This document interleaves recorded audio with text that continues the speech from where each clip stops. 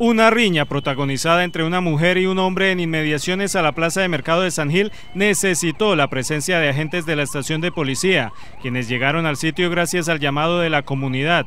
Allí procedieron a tranquilizar a los involucrados, quienes se encontraban en alto grado de alteración. Sobre todo, la ciudadana, la cual en un acto de poca cultura agredió a uno de los oficiales.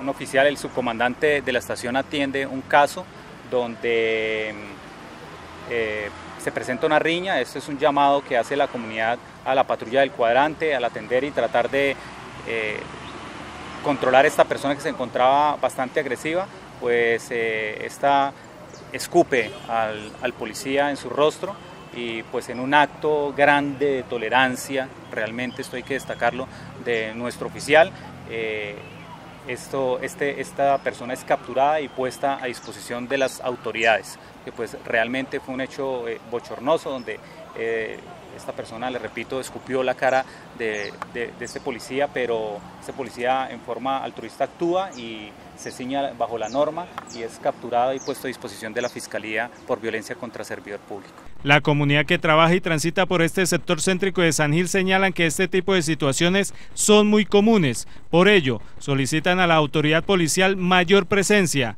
Además, denuncian el aumento de la delincuencia, especialmente en casos de hurto. Se espera que las autoridades tomen cartas en el asunto y establezcan planes que contrarresten este tipo de actividades ilícitas.